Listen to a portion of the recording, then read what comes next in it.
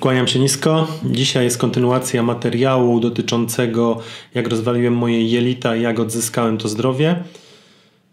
Trochę ciężko mi jest nagrywać tą serię, bo przypominają mi się tamte chwile, gdzie właśnie miałem problemy z tym zaburzeniem nastroju, czy to lęk o życie, mm, jakieś najróżniejsze palpitacje serca, dezorientacja, no to była tragedia. Czy te okresy miesięczne wręcz osłabienia odporności, gdzie no cały czas, a to byłem na antybiotyku albo na jakichś lekach w sposób naturalny, wtedy nie wiedziałem, że można coś zrobić. I zanim przejdę do jednego z czynników, które pomogły mi wyjść z tego stanu, stanu, który na chwilę obecną nazywa się fachowo utrata selektywności flory jelitowej, czy dysbioza jelitowa, mikrobiomu, mikrobioty jelitowej dokładnie. I oczywiście probiotykoterapia pomogła mi odzyskać to zdrowie, plus eliminacja tych czynników, które uszkadzały mi to ciało, czyli przewlekły stres, przesadna aktywność, śmieciowe żarcie, leki, bo ten temat w ogóle będzie jeszcze poruszony w kolejnych filmach. Chcę ten temat rozłożyć na czynniki pierwsze, żeby temat związany z jelitami był już wyczerpany na tym kanale, przynajmniej w tym sezonie. I w tym odcinku chcę Wam przedstawić shake, który zaraz po tych wszystkich czynnikach, które pomogły mi odzyskać zdrowie, to będzie czynnik żywieniowy, czyli shake, który piłem z 5-6 razy w tygodniu w tamtym okresie i dzisiaj Wam zaprezentuję jakie to są produkty i jakie to były wariacje, bo też no wiadomo to nie składało się tylko i wyłącznie z tych produktów. Żywienie uważam, że powinno być takie pierwsze primo, smaczne, cukier i słodzik. To jest pierwszy element. Drugi to jest szpinak, który też y, w tamtym okresie pamiętam stosowałem sałatę masłową i bodajże jarmuż, ale jarmuż źle na mnie działał paradoksalnie, mimo że właśnie to są tak zwane low food maps, czyli mają tych mniej węglowodanów, które mogą fermentować, a jak ktoś ma w ogóle problemy z jelitami, to dysbioza jelitowa, czyli brak tych odpowiednich bakterii pomagających w trawieniu tych produktów spożywczych jest uszczuplona i wtedy może dochodzić do najróżniejszych zaburzeń, do nasilenia się wzdęć, zgagi, przelewania się w żołądku, dlatego też jak zielone warzywa, to lepiej te z niską zawartością food mapsów, tak po prostu mówiąc. Poczytajcie sobie, co to jest w ogóle food maps. I szpinak, można powiedzieć, zaraz po selerze naciowym był jednym z głównych elementów.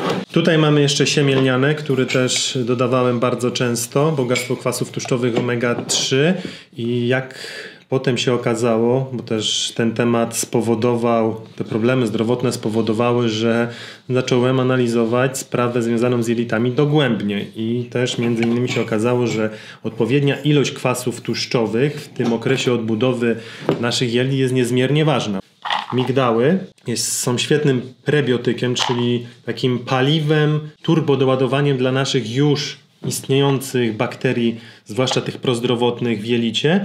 I one też pomagają produkować wtedy więcej, bardziej optymalnie enzymy, pomagające trawić pokarm, czy nawet dotrawiać niestrawione przez tej pierwszej części układu pokarmowego jedzenie. Migdały dobrze by były, jak już jemy sotę, to żeby były bardzo dobrze gryzione, bo one muszą być poddane obróbce tutaj akurat mechanicznej, czyli gryziemy, no to już jest obróbka mechaniczna, ale fakt ich zmielenia powoduje, że ich biodostępność jest dużo wyższa. I też ciekawe badania niedawno wyszły przez amerykański Departament Rolnictwa, że zmielone migdały mają o 25% mniej kalorii niż podaje na etykiecie producent z prostej przyczyny jest cała moc wszystkich błonników uruchomiona, że tak to nazwę i te kalorie nie są wchłaniane po prostu. Dlatego też mielmy ewentualnie migdały w tym, w tym szejku.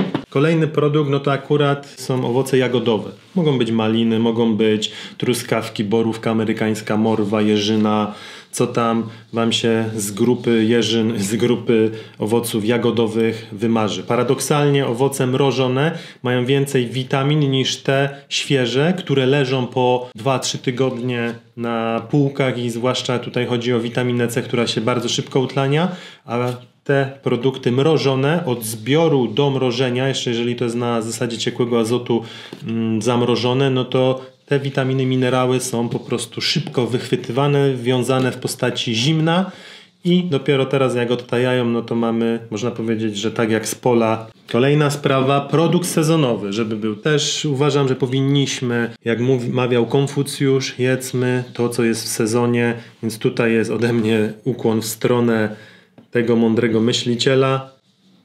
Truskaw, truskawki. Winogrona z winnicy Ostoja, to jest winnica mojego taty, z tego w ogóle są też pyszne, pyszne wina robione. Bogactwo polifenoli, resveratrol wspiera nasze również jelita, pomaga minimalizować stany zapalne. No i tutaj jeszcze cynamon i kurkuma. To są w top 10 najzdrowszych przypraw korzennych i to jest takie mm, bogactwo z kolei antyoksydantów, bo w skali ORAK te dwie przyprawy też są bardzo wysoko. No i teraz tak. Mniej więcej w takich proporcjach to jest. Ja na śniadanie robię, czyli garść, garść szpinaku, garść malin, garść migdałów, tutaj kilka winogron, bogactwo polifenoli, tak jak wspominałem, banan jako słodzik.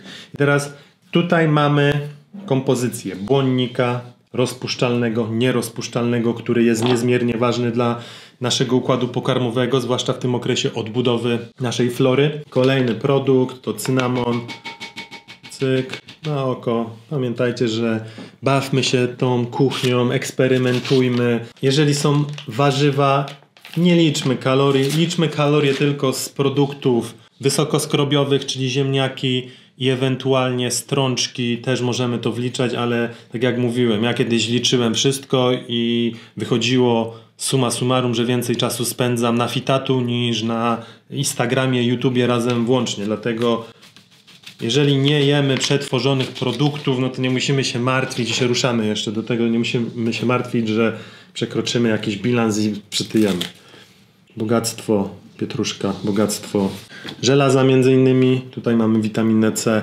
Wspomaga wchłanianie tego żelaza. E, szczawiany troszkę blokują wchłanianie witaminy C, ale to nie jest jakaś tam wielka dawka tych szczawianów, tak jak wszyscy się boją i mówią, że jak najmniej tych warzyw ma szczawiany. No, Jedzcie szczawiany, jedzcie fityniany, które są w płatkach owsianych, bo w odpowiednich ilościach fityniany i szczawiany mają działanie przeciwnowotworowe, co ciekawe. Tylko nadużywanie z kolei fitynianów i szczawianów może ewentualnie blokować wchłanianie witamin czy minerałów. Podsumowując, w 100 kaloriach tego szejka no on może mieć, obstawiam, z 250-300 kalorii max. I tutaj mamy witaminę C, witaminy z grupy B, Mamy kwasy tłuszczowe omega-3, czyli no, nie będę tutaj wchodzić w głębszą analizę, ale mamy niezbędne wszystkie witaminy, minerały, kwasy tłuszczowe, błonniki wspierające nasz układ pokarmowy. Myślę, że Kazimierz Funk, nasz wybitny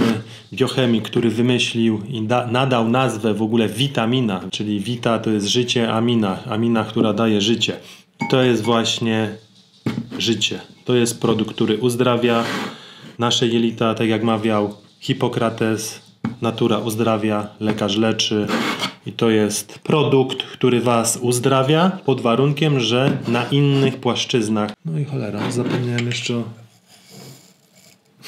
siemieniu lnianym. Odrobina kwasy tłuszczowe omega-3. Możecie robić nie wiadomo co dobrego dla swojego ciała, ale jeżeli czynnika uszkadzającego nie wyeliminujecie, no to taki shake Wam nie pomoże. Może załagodzić ewentualne stany chorobowe, ale nigdy Was nie uzdrowi. Pamiętajmy, żeby dbać o swoje ciało na poziomie mentalnym, czyli psychicznym, żywieniowym i ogólnoustrojowym, jeżeli chodzi o życie. Bądźmy dobrymi ludźmi, świadomymi i to prędzej czy później się na plus nam odwdzięczy. To jest moje motto życiowe. Dobrze, tyle jeżeli chodzi o mój wywód. Więcej oczywiście macie na platformie motywator.tv, gdzie dr Patrycja Szachta uczy Was, jak już w tych cięższych stanach wychodzić z problemów jelitowych, zdrowotnych, nietolerancji, alergie pokarmowe. Ten temat jest szeroko tam omówiony. Kto ma ochotę, to zapraszam. No i bądźcie zdrowi, edukujcie się, bądźcie dobrymi ludźmi po prostu. Tyle ode mnie. A jeszcze jedna sprawa z wodą to pijam.